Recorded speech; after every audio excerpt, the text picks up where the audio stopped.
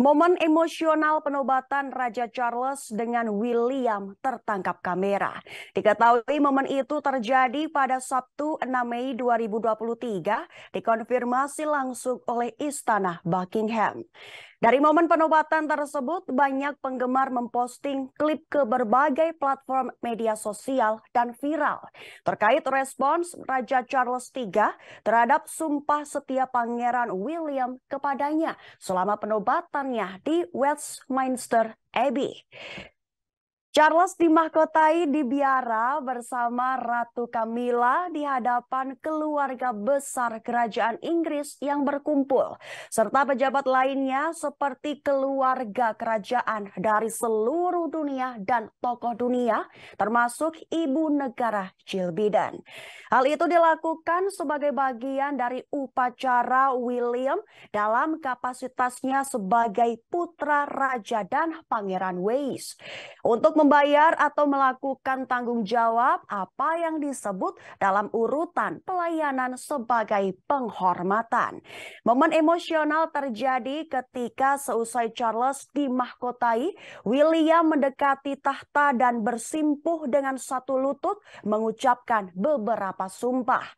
Kemudian ia menyentuh mahkota Saint Edward dan mencium pipi sang ayah. Seketika momen emosional dari Raja Charles tampak jelas saat ia mengucapkan terima kasih kepada Pangeran William. Sebagai informasi, William bukan satu-satunya putra Raja Charles yang datang ke biara pada hari penobatan.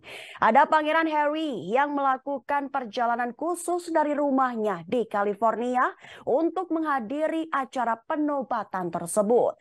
Diketahui ia tak lagi menjadi anggota monarki yang bekerja sehingga ia tidak memainkan memainkan peran seremonial resmi seperti kakak laki-lakinya. Hal itu karena ia menyatakan keinginan untuk pergi pada tahun 2020 bersama Meghan Markle istrinya. Anggota lain dari keluarga kerajaan yang memiliki peran Maksud kami memiliki peran pada hari penobatan adalah Pangeran George. Pangeran George adalah putra dari William, pewaris tahta kedua.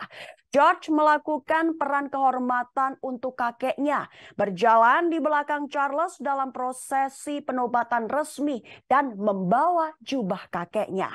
Itu George lakukan bersama sekelompok anak laki-laki lain dengan usia yang sama yang berhubungan dengan keluarga kerajaan. Terima kasih sudah nonton. Jangan lupa like, subscribe, dan share ya.